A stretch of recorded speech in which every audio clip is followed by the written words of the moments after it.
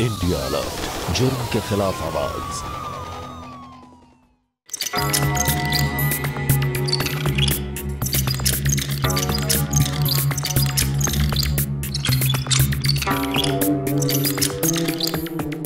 हम जब भी बाबा जी के पास जाएँगे ना तो हम बहुत सारी बातें करेंगे आशीर्वाद लेंगे। देखना उनके उपाय से तुम जल्दी ठीक हो जाओगे। और कोई बात नहीं। कितने बुरे हो मानव देखो, मेरी तारीफ़ भी नहीं कर रहे हो।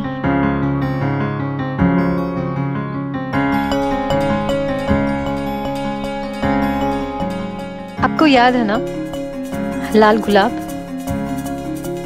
आप हर रोज मेरे लिए लाल गुलाब लाते थे।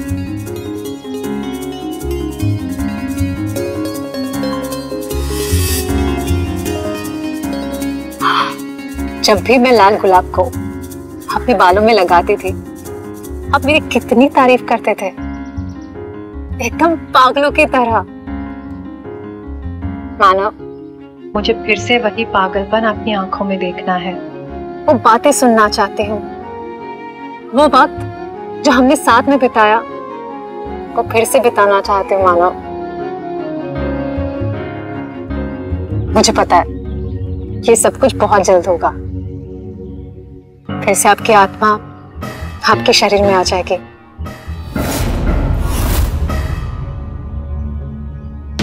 मैं माँ बनूँगी और अब पापा बनेंगे। आधा काम हो गया है। बस कुछ और दिनों की बात है। फिर सब ठीक हो जाएगा। आप समझ रहे हैं ना मैं क्या कह रही हूँ? समझ ही रहे होंगे।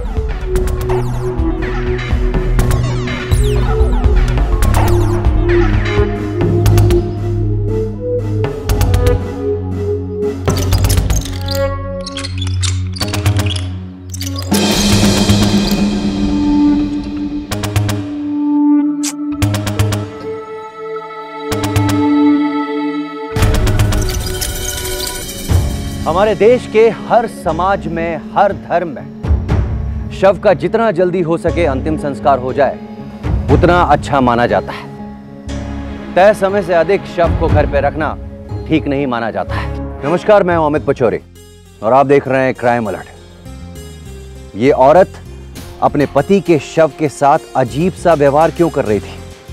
ऐसा जैसे कि इसका पति मरा नहीं, जीवित हो। क्या ये अपना मानसिक संतुलन खो चुकी थी? या फिर ये स्वीकारने के लिए तैयार नहीं थी कि इसके पति की मृत्यु हो चुकी है?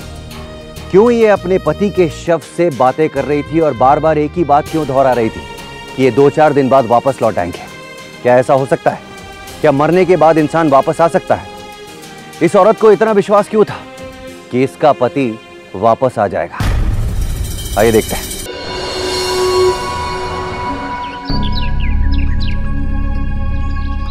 चंचल आराम से।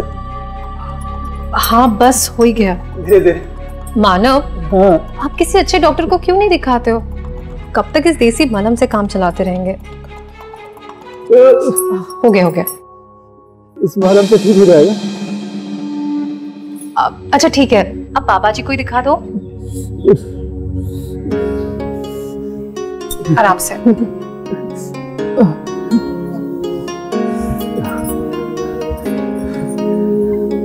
चंचल क्यों इशू बना रही हो? मैं इशू बना रही हूँ। ऐसा कुछ नहीं है। आज मैं आपकी एक नहीं सुनने वाली हूँ। आपको मेरे साथ बाबा जी के पास चलना ही होगा। तुम ही चली जाओ बाबा जी पर मेरा अटूट विश्वास है। श्रद्धा भी है। इसलिए मैं तो जाऊँगी। पर मानो ये बात हमारे बच्चे से जुड़ी हुई है। इसलिए आपको चलना चाहिए ना। और बाबा जी ने खुद कहा है। कि आपको भी ले आऊँ। मुझे पूरा यकीन है कि वो कोई ना कोई उपाय तो ज़रूर बताएँगे। प्लीज़ चल लो। ठीक है। बहुत खुश हूँ और मैं बाबा जी को भी बताती हूँ कि आप आ रहे हैं ठीक है? दीदी वो आपसे कुछ बात करनी है इधर आओ ना। रवि। मेरे सामने बात करने में शर्म आती है क्या? मानव आप नाराज़ क्यों हो रहे हो? तो ऐसे ही बात कर रहा है ना? हाँ जीजा जी। बस दो मिनट कुछ बात करनी है। अरे बोलो ना पैसे मांगने हैं। और तुम भी ना उससे छिपाकर इसी तरह इसको पैसे दिया करो। भाई होने का बहुत फ़ायदा उठा रहा है। ऐसी बात नहीं है जीजा जी। पैसे नहीं चाहिए। और जितने लिए ना वापस कर दूँगा जॉब मिलते ही। पाई पाई लौटा दूँगा आपकी। इसी तरह भाई को प्यार दिखाती रहो। पॉकेट में पैसे भरती रहो। पता नहीं कब कमाएगा। मैं नाश्ता लगा दूँ आप जल्दी से तैयार हो जाइए। बाबा जी के पास जाना है। ठीक है। रवि गार्डन के सारे पौधों में पानी डाल देना। डाल दूँगा। आपको तो भरोसा है नहीं। और फ़ायदा उसी को होता है जो भरोसा करे। नहीं नहीं बाबा जी इन्हें विश्वास हो गया पूरा विश्वास है आप पर। बस भगवान की कृपा से हमें एक संतान हो जाए और हमें जीवन में कुछ नहीं चाहिए। अरे, तंत्र विद्या में तो इतनी शक्ति होती है कि मुर्दे में भी जान डाल दे। ये आयुर्वेदिक दवा है। सुबह शाम रोज एक एक गोली लेते रहना। तुम बहुत जल्दी पिता बन जाओगे। और हाँ गर्भवती होने की सूचना मुझे अवश्य देना।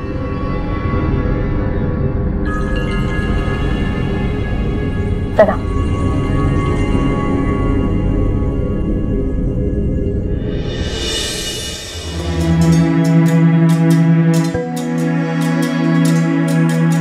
बाबा जी वो दवाई अगर सुबह शाम खाएँगे तो? मर जाएगा। यही ना? उसे तो मरना ही होगा। उसके मरने का इंतज़ाम उसकी पत्नी ही कर रही है। उसकी पत्नी उसे जो गोली देगी ना वो स्लो पॉइजन है। एक बार इंसान जहर से तो बच सकता है। लेकिन स्लो पॉइजन से? स्लो पॉइजन से बचना असंभव है असंभव। मानव लीजिए। दवाई लेनी है ना आपको? हाँ। थैंक यू थोड़ी चाय मिलेगी? हाँ बिल्कुल। पाँच मिनट में लाई।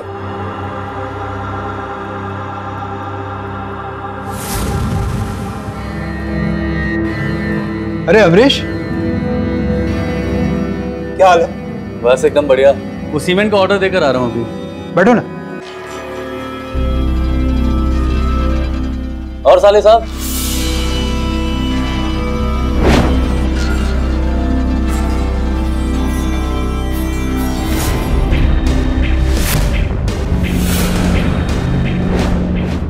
मैं आपका साला नहीं हूँ। अरे यार तू मेरे बेस्ट फ्रेंड का साला है इसलिए साला बोल दिया। तू तो बुरा मान गया यार। ये ऐसा ही है। अच्छा काम शुरू हुआ सुभाष चौराहे वाली सड़क का? नहीं नहीं अभी नहीं। वो लेबर नहीं मिल रहे थे ना।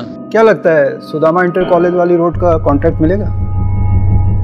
मुश्किल लग रहा है। मेरे हिसाब से वाजपेयी वाली फर्म को मिलेगा वो। हमें मिलना मुश्किल है। आपको भी मिल सकता है। मैंने कहा ना एक बार आप भी बाबा जी के पास चलेंगे ना? तो आपके सारे काम हो जाएँगे। लेकिन तुम्हारे अंधविश्वास को हम अपने बिज़नेस में नहीं डालने वाले अमीश भैया चाय। भाभी कितनी बार कहा है मुझे भैया मत बोला करो। तेवर बोला करो ना वो वो ज़्यादा अच्छा लगता है सुनने में।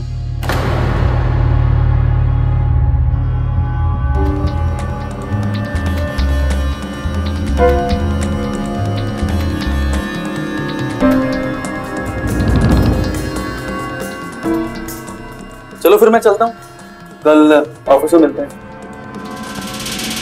माना क्या हुआ? चक्कर सा लग रहा है यार। मैं आपके लिए पानी लाऊं? माना तुम एक काम करो तुम आज घर पे ही आराम करो ठीक है? काम मैं संभाल लूँगा। मुझे बस वो सुभाष चौराहे वाली रोड की फ़ाइल दे दो। हाँ ठीक है।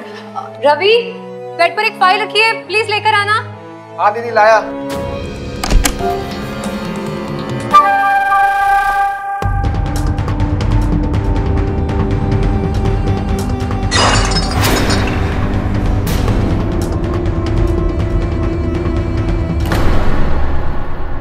ये लो अमीश भैया रवि ये आवाज़ कैसी थी? वो मुझसे गलती से आवाज़ गिर गया। क्या? अरे कोई बात नहीं दूसरा आ जाएगा। इतना क्यों ओवर रिएक्ट कर रही हो? क्या बोला? क्या बोला? ओवर रिएक्ट कर रही है? आठ पीस है। बेल्जियम से लाया था। जब लाइफ में दो रुपया कमाएगा तब उसकी वैल्यू होगी। ये क्या किया आपने? इसे हाथ नहीं उठाना चाहिए था। अरे आ, कोई बात नहीं। रवि समझ सकता है कि मानव थोड़ा परेशान है। मानव कोई बात नहीं आइंदा से ऐसा नहीं करेगा ये। रवि को थोड़ी देर के लिए अपने साथ ले जा रहा हूँ। चल रवि।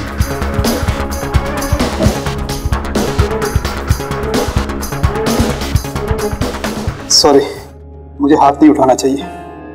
वो आएगा माफ़ी मांगूँगा। चंचल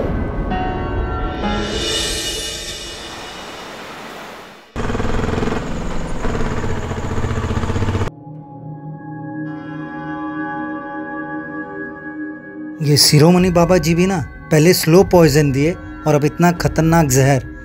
इनका पति कल की सुबह उठेगा नहीं बल्कि उठ चुका होगा। नमस्कार चंचल जी। अरे सदानंद जी आप यहाँ? नमस्ते। शिरोमणि बाबा जी ने ये दवाई दी है। आपके पति को खिला दीजिए उनका फोड़ा ठीक हो जाएगा। पर उन्हें कैसे पता कि मेरे पति को बाबा जी महान है अंतर्यामी है। उनको सब पता चल जाता है। आप बाबा जी को मेरी तरफ़ से धन्यवाद कह दीजिए ज़रूर। ठीक है। सब बाबा की महिमा।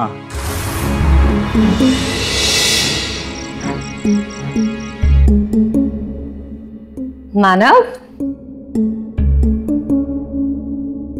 ये लीजिए आपकी दवाई। ये वही दवाई है ना जो बाबा जी ने दिया था? हाँ ये वही दवा है आप इसे ले लीजिए। आपको बहुत अच्छी नींद आएगी। थैंक यू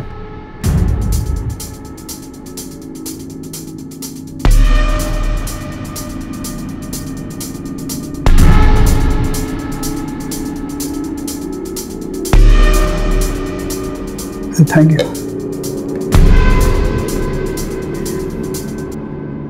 अब आप सो जाइए।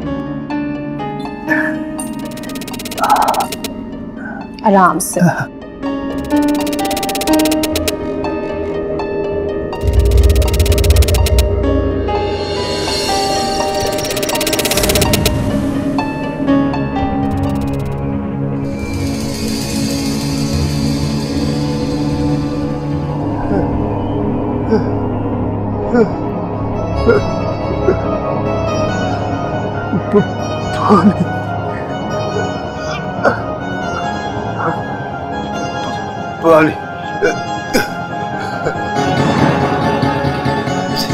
चंचल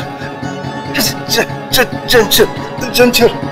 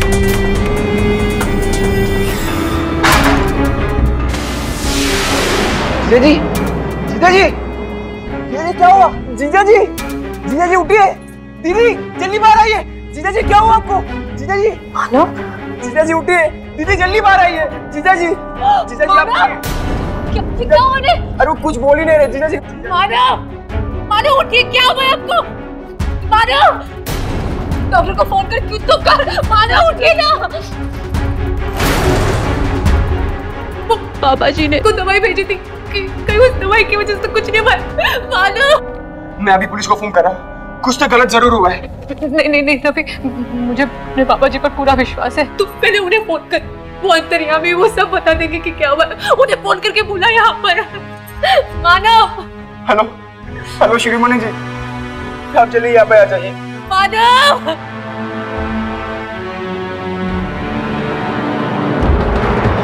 अंधविश्वास को अंधविश्वास इसलिए कहा जाता है, क्योंकि इसमें इंसान इस कदर अंधा हो जाता है कि उसकी सोचने, समझने की शक्ति क्षीण हो जाती है। उसे जिस रास्ते पर ले जाया जाता है, वो उसी रास्ते पर चलता जाता है। चंचल जिस तांत्रिक के पास माँ बनने की आस लेकर गई थी, उसे इस बात का जरा भी एहसास नहीं था कि वही तांत्रिक उसी का इस्तेमाल करके उससे उसके सुहाग को हमेशा के लिए छीन चुका है। आखिर इस तांत्रिक ने इतना जघन्य अपराध किया क्यों? चंचल के पति मानव की हत्या से आखिर उस तांत्रिक को क्या फ़ायदा था? क्या चंचल पुलिस के पास जाएगी? क्या उसे कभी पता चलेगा कि उसके पति की हत्या की वजह क्या थी?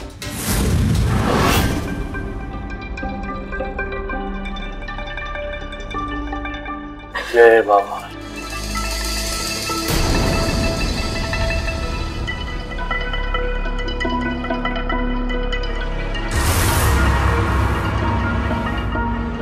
तुम सदोहा रहना चाहती हो कि विधवा? लेकिन लेकिन बाबा जी ये तुम ये मरे नहीं है। इनकी आत्मा यात्रा पे है। ये गहरी नींद में है। कभी कभी ऐसा होता है कि आत्मा शरीर से निकलकर सूक्ष्म यात्रा पे चली जाती है और बाद में पुनः वापस आ जाती है। हाँ दीदी मैंने इसके बारे में सुना है। इंग्लिश में इसको एस्ट्रो ट्रैवल कहते हैं। बिल्कुल सही। मैं उस आत्मा को ढूंढकर वापस शरीर में डाल सकता हूँ। ऐसा काम कोई और नहीं कर सकता है। वर्षों की तपस्या के बाद मैंने ये सिद्धि प्राप्त की है। तो, तो तो बाबा जी अब बताइए ना हमें क्या करना चाहिए? तुम इन्हें अपने पास रखो। इनसे बातें करो। मैं जब करूँगा। और उसके बाद इन्हें पुनः जीवन दान मिलेगा। लेकिन इसके लिए इसके लिए तुम्हें मेरे ऊपर विश्वास रखना होगा। वरना ले जाओ अपने पति को। दे दो पुलिस को। अब करवा दो इसको शरीर को। नहीं बाबा नहीं। मैं, मैं, मैं, ऐसा कुछ नहीं करूँगी। मैं किसी के पास कुछ भी नहीं जाऊँगी कहीं कुछ नहीं बोलूँगी। आप जैसा कहोगे जैसा बोलोगे मैं वही करूँगी। बस बस आप इन्हें ज़िंदा कर दीजिए।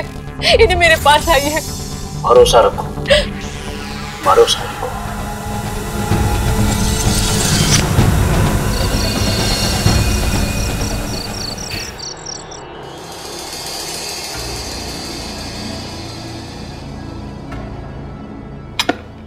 रवि तू खाना खा ले मैं अभी आई।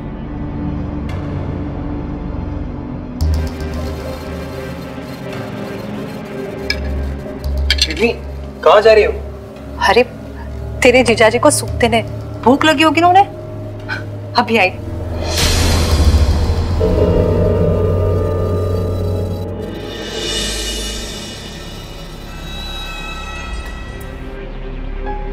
कितना अच्छा समय बिताया ना हमने साथ में।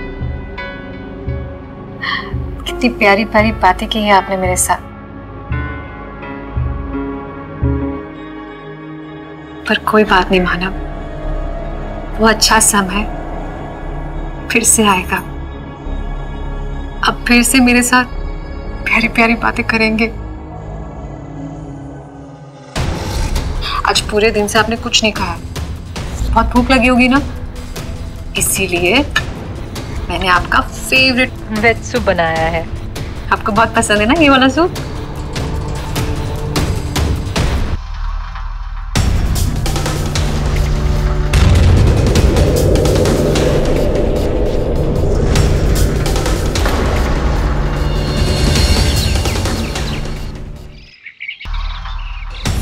जय बाबा।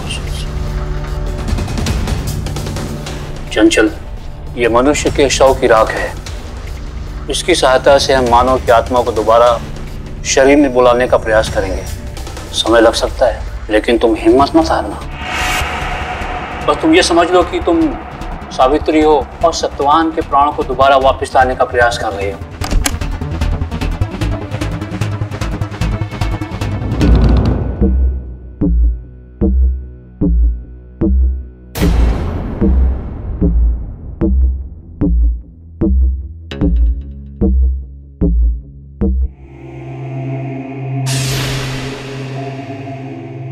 जल मेरे वर्षों की तपस्या का फल है। इसमें भस्म मिला हुआ है। तुम इसे रोज रात को मानव के शरीर पर डालना देखना चमत्कार होगा। आगे क्या करना है और कैसे करना है, ये मैं तुम्हें बाद में बताऊँगा।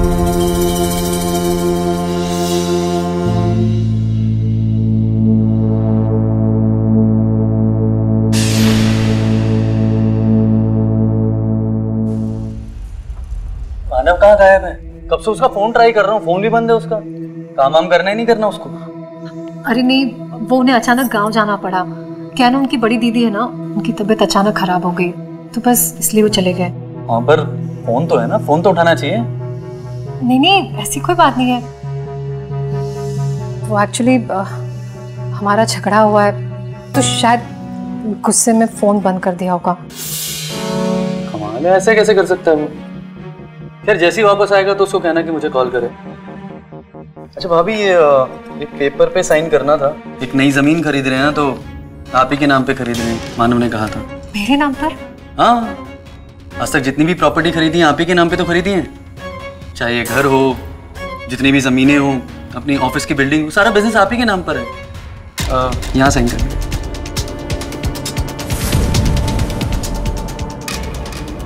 आपसे बहुत प्यार करता है। बाबू ज़्यादा दिन तक नाराज़ नहीं रह पाएगा। हाँ उनके लौटने का तो मैं भी बेसब्री से इंतज़ार कर रही हूँ। तो ठीक है मैं चलता हूँ। वो आएगा तो उसे कॉल करने बोलूँ ठीक है। अरे चंचल कहाँ रहती है तुम? चलो ना सेल लगी है शॉपिंग करने चलते हैं। नहीं माया आज नहीं चलते। मेरे ना सिर में बहुत दर्द हो रहा है। कल चलते हैं ना? मैं बस थोड़ी देर सोना चाहती हूँ। ठीक है? कल मिलते हैं। चंचल। चंचल इतना हड़बड़ाकर क्यों बात कर रही थी? सब काम वाम छोड़कर वो तो शॉपिंग के लिए आ जाती थी। आज पता नहीं उसे क्या हो गया है। कितना सोते हो मानव अब बस भी करो। अब जल्दी से उठ जाओ ना। अगर नहीं उठे ना तो मैं भी ऐसे सो जाऊँगी। आपके बिना कुछ भी अच्छा नहीं लगता।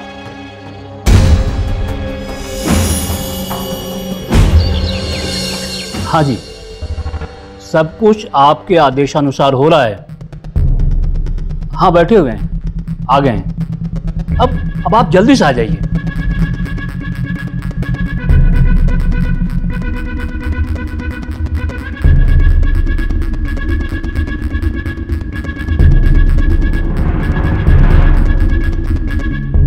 आ गए हैं तुम्हारे अपराध के साथी।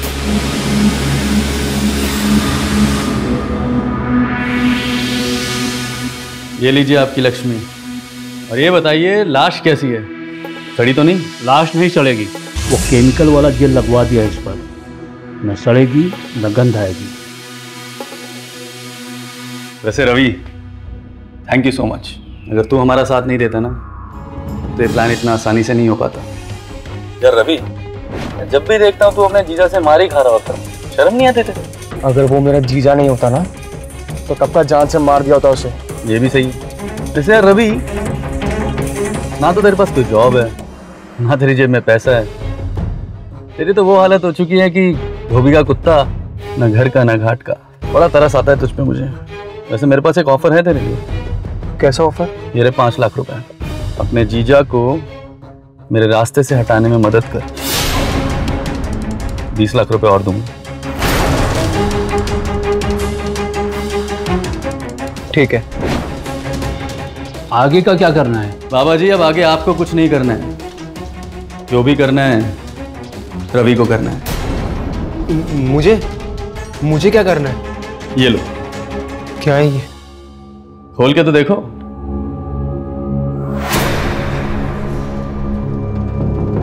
ये तो गन है। हाँ लेकिन इसको अभी यूज़ नहीं करना है। सबसे पहले तुम्हें इस फ़ाइल पे अपनी बहन के साइन लेने।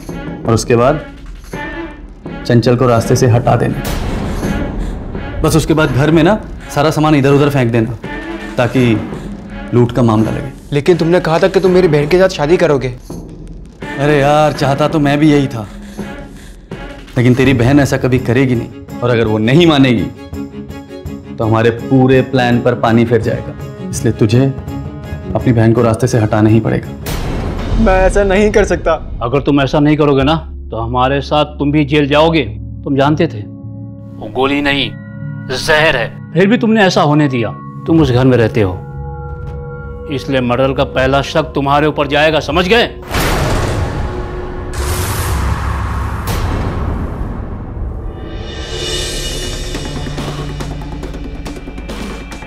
आपको याद है ना? लाल गुलाब आप हर रोज मेरे लिए लाल गुलाब लाते थे। जब भी मैं लाल गुलाब को अपने बालों में लगाती थी, आप मेरी कितनी तारीफ़ करते थे। एकदम पागलों की तरह। मानव मुझे फिर से वही पागलपन आपकी आँखों में देखना है। मुझे पता है, ये सब कुछ बहुत जल्द होगा। फिर से आपकी आत्मा आपके शरीर में आ जाएगी। और मैं माँ बनूँगी। आप पापा बनेंगे। आधा काम हो गया है। बस कुछ और दिनों की बात है।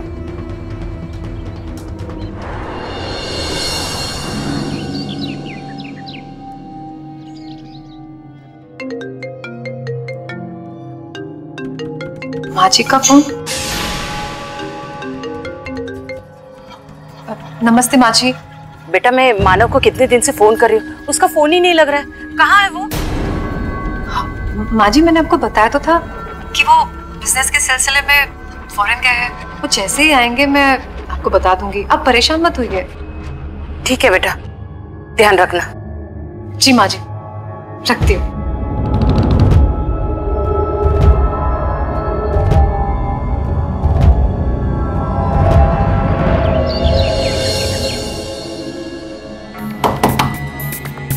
रवि आजा अंदर।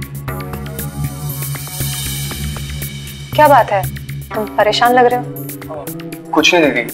अपने जीजाजी की वजह से परेशान है ना? पर तू चिंता मत कर। वो बहुत ही जल्द हम सबके बीच में लौट आएँगे। दीदी ये पेपर साइन कर दो ना। ये किस चीज़ के पेपर है?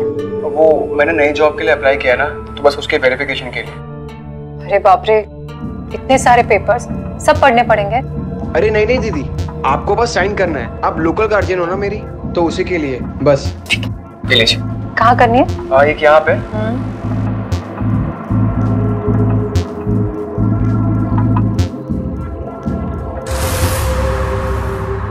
बस हो गया। सुन तुझे इतना पसीना क्यों आ रहा है? तेरी तबीयत तो ठीक है ना? हाँ दीदी ऐसा कुछ है नहीं मैं ठीक हूँ। ठीक है। मैं चलता हूँ।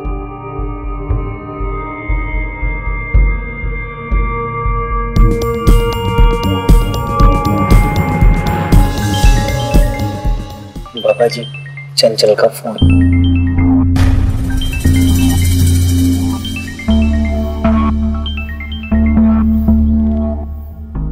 हेलो? बाबा जी और कितने दिन लगेंगे? मुझे बहुत डर लग रहा है। चंचल आस्था और धैर्य यही सफलता की कुंजी है। मैं यहाँ जब कर रहा हूँ और जल्दी वहाँ आकर मानव के साथ पूरी क्रिया करूँगा। आप जो भी क्रिया करनी हो जल्दी कीजिए। मैं किसी को कुछ नहीं बताऊँगी। रखती हूँ। प्रणाम। खुश रहो।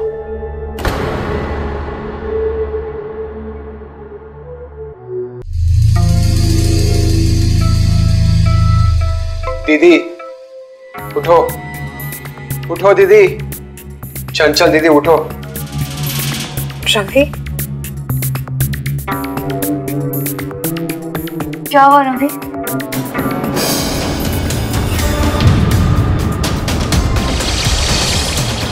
रवि? रवि तुम ये क्या कर रहे हो? दीदी!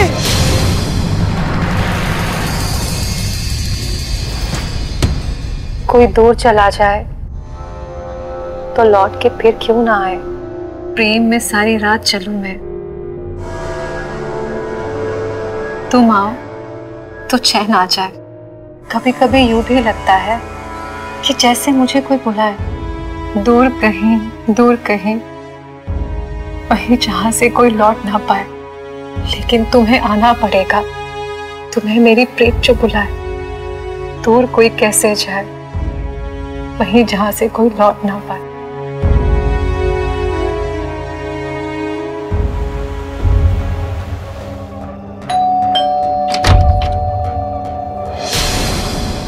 माची आप।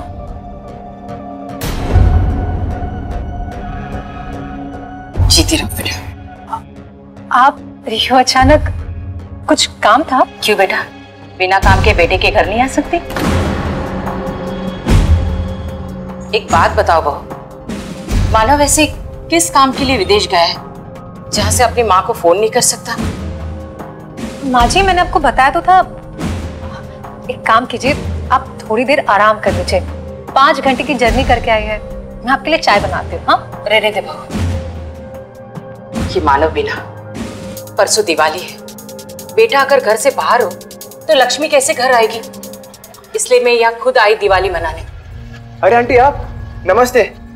जीते रहो बेटा। रवि माँ जी तुम्हारे कमरे में सोएगी। तुम यहाँ हॉल में सो जाना ठीक है? अरे नहीं बहू। क्यों रवि को परेशान कर रही हो? वहाँ गेस्ट रूम है ना मैं वहाँ सो जाऊँगी। अरे नहीं माँ जी वहाँ तो बहुत सारा सामान है। आप वहाँ कैसे सो पाओगे? इसके कमरे में ही आप सो जाइए ना। कैसा सामान?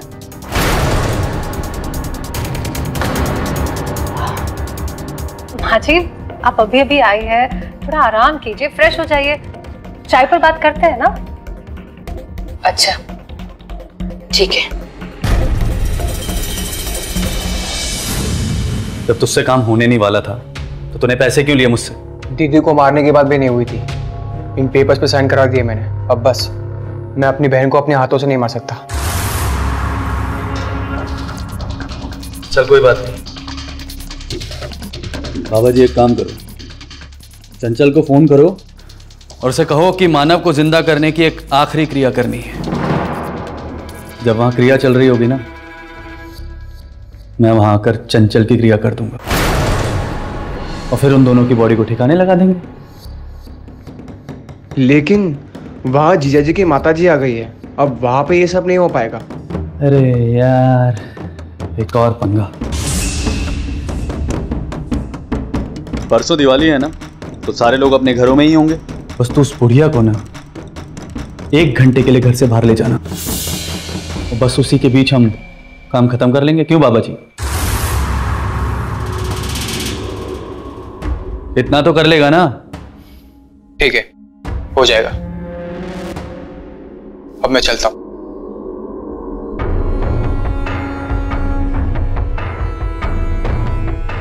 अमिश जी मानव की माँ भी वहाँ आ गई है। ये लड़का कभी भी मुँह खोल सकता है। ये दोनों आपके लिए खतरनाक साबित हो सकते हैं। एकदम सही कह रहे हो बाबा। एकदम मेरी तरह ही सोचते हो। अगर उसकी माँ चंचल को वहाँ नहीं देखेगी ना तो शक तो उसे होगा। लेकिन कोई बात नहीं। इन दोनों को खत्म करने के बाद जब ये दोनों वापस आएँगे हम इन्हें भी खत्म कर देंगे। लेकिन अमीश जी इससे खतरा और बढ़ जाएगा। अस्सी करोड़ की प्रॉपर्टी है बाबा जी। आपको पच्चीस लाख रुपए देने वाला था ना? अब पचास लाख रुपए दूँगा। पचास लाख? बस तुम दोनों मेरा ये काम करवा दो। ठीक है अमीश जी। काम हो जाएगा। जय बाबा सत्य शरण की जय हो।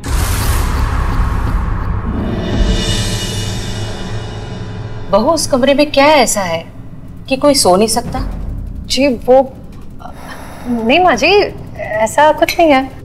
बहू चलो हम उस कमरे की साफ़ सफ़ाई करते हैं। दिवाली में ना पूरा घर साफ़ होना चाहिए वरना लक्ष्मी रूठ जाती है। स्वच्छता से ही लक्ष्मी घर आती है। चलो चलो।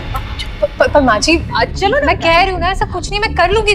माँ जी माँ जी माँ जी मैं देख पूरा घर साफ़ कर दे।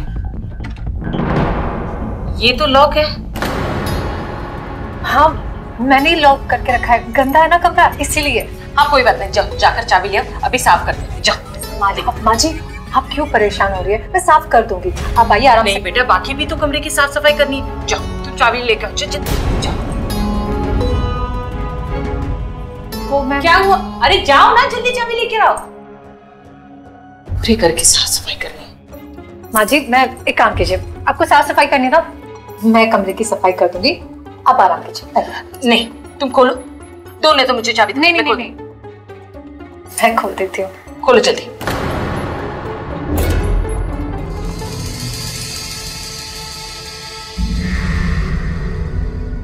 एक बार फिर से सोच लीजिए माँ जी। इसमें सोचना क्या है? कमरे की साफ़ सफ़ाई करनी है बेटा। खोलो।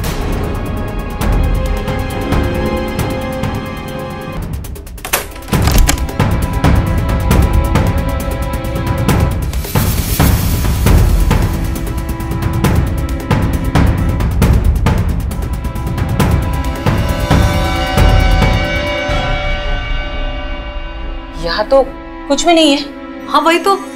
कुछ भी नहीं है। वो ये बेड है ना उसका प्लाई ठीक नहीं है। तो मुझे लगा आप ठीक से सो नहीं पाओगे। इसलिए सामान का बहाना कर दिया मैंने। अच्छा। कुछ साफ़ सफ़ाई तो नहीं करनी है।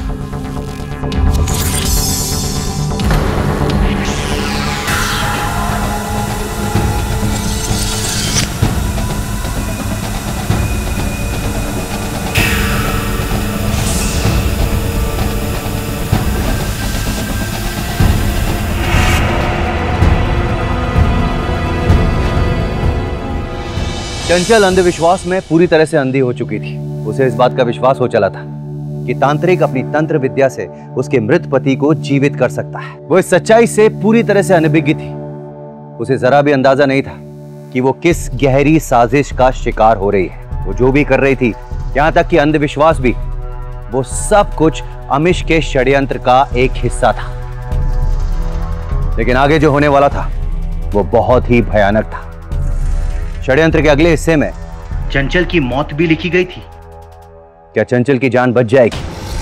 वहीं दूसरी तरफ़ सुमित्रा जो एक माँ थी उसे जब पता चलेगा कि उसके बेटे का मृत शरीर दस दिन से उसके घर में पड़ा हुआ है तब उस पर क्या बीतेगी? आइए देखते हैं। नहीं नहीं चंचल हमें सारी क्रियाएँ आज ही करनी होगी। आज दीपावली है। और दीपावली की रात को तंत्र विद्या से जुड़ी बहुत सारी क्रियाएँ की जाती हैं। काला जादू टोना टोटका सब आज ही होता है। हाँ बाबा जी मैं आपकी बात समझ रही हूँ लेकिन मैं क्या कर सकती हूँ? मेरी सास मेरे घर आई हुई है। कैसे होगा ये तुम जानो। लेकिन एक बात समझ लो अगर आज ये क्रिया पूरी नहीं हुई तो तुम अपने पति से हाथ धो सकती हो। नहीं नहीं नहीं नहीं ऐसा ऐसा ऐसा कुछ नहीं होगा। मैं कुछ करती हूँ ठीक है? और मैं आपको फ़ोन करूँगी। वैसे आप कितने बजे तक आएँगे? साढ़े सात बजे। तुम अपनी सास को हटाओ किसी तरह वहाँ से। समझ गई? मैं कुछ करती हूँ और आपको फ़ोन करूँगी। रवि! तुम्हें ना मेरा काम करना होगा। क्या? तुम्हें माँ जी को लेकर कहीं बाहर जाना होगा और उन्हें बस लगभग एक घंटे के लिए बिज़ी रखना है। लेकिन क्यों? क्यों? का क्या मतलब है? सवाल जवाब मत कर। मैं जैसा कह रही हूँ ना वैसा कर। अच्छा ठीक है।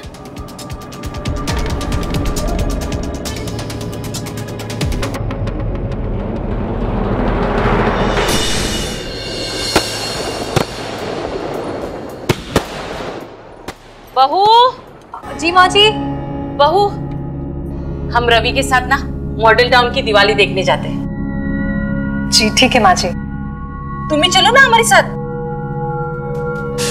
आ, नहीं माँ जी मैं घर पर ही रहती हूँ। वैसे भी आप ही कहती है ना कि दिवाली के दिन दरवाज़ा बंद नहीं करते। ठीक है बेटा। चलो रवि बेटा। चलो। चलो।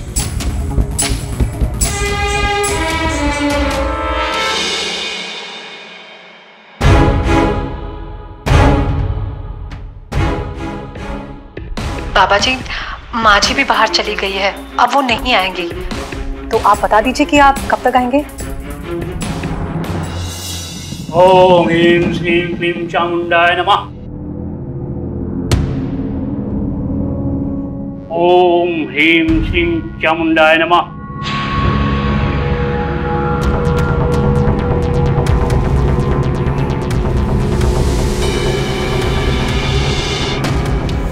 ओम श्री सत्य शरण बाबाय नमः। तुम्हारे पति की आत्मा को वापस बुलाने के लिए बलि देनी होगी। बलि किसकी बलि बाबा जी वो मैं तुम्हें बात बताऊँगा। अभी तुम प्रक्रिया में बाधा मत डालो। जी जी। बाबा जी ये कब तक जग जाएँगे? बलि के बाद। यही तो मैं आपसे पूछ रही हूँ कि किसकी बलि? तेरी। और किसकी? कि तुम क्या कर रहे हो? अरे परेशान कर दिया था तेरे इस पति ने। बहुत पैनी नज़र थी साले की। बहुत सवाल पूछता था पैसों के लिए। और मुझे पैसा कितना मिलता था? सिर्फ़ पचास परसेंट। जब पूरा बिज़नेस मैं अकेला चला सकता हूँ तो मुझे इसकी क्या ज़रूरत है? अब इस बिज़नेस पे सिर्फ़ मेरा हक है। सिर्फ़ मेरा। ये जो भी कुछ कर रहे हो ना देखना दो तुम्हें तुम्हें शिरोमणि बाबा जी छोड़ेंगे नहीं। अरे मंद बुद्धि औरत ये मेरे साथ मिला हुआ है। पूरे पचास लाख रुपए दिए हैं बाबा जी को तुझे उल्लू बनाने के लिए। हम दोनों ने मिलकर ही ना तुझसे तेरे पति को मरवाया है। वैसे एक और सरप्राइज़ भी है तेरे लिए। बताऊँ? वो जो तेरा भाई है ना, वो भी मेरे साथ मिला हुआ है। सबको खरीद लिया है मैंने। सबको।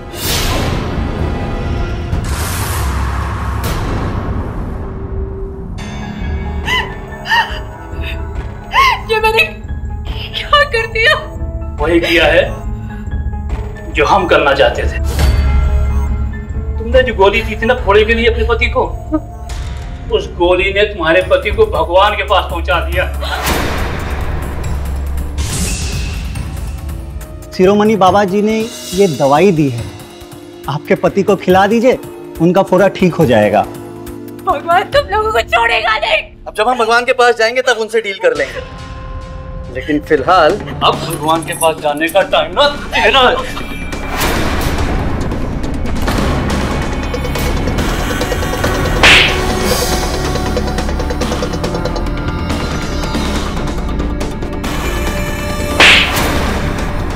अरेस्ट करो इन सबको। और हाँ अगर किसी ने जरा सी भी चालाकी दिखाने की कोशिश की तो फिर मैं गोली चला दूँगा।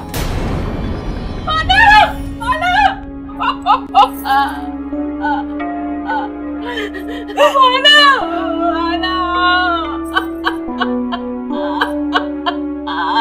सब कुछ मेरी वजह से हुआ। मुझे रवि ने सब कुछ बता दिया। बाजी चंचल दीदी की जान खतरे में। आप प्लीज़ मेरे साथ बाहर चलिए। जीजा जी से जुड़ी कुछ बहुत बड़ी बात पता नहीं है आपको। बस दीदी के सामने ये कहना कि हम दिवाली देखने जा रहे हैं। मैं जानता था ये लोग जीजा जी के साथ ये सब करने वाले। मैं उनसे नाराज़ था। इसलिए बहक गया और इस अमीश के बाद में आ गया और इनके साथ मिल गया। लेकिन सर जब उसने मुझे दीदी को मारने के लिए कहा अपने हाथों से तो मुझसे नहीं हुआ सर।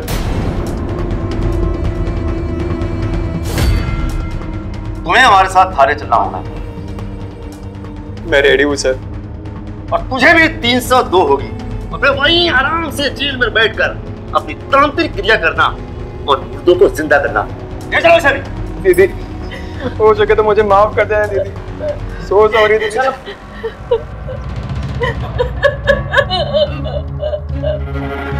मेरे अंधविश्वास ने मुझे बर्बाद कर दिया। मेरे पति को मुझसे छीन लिया।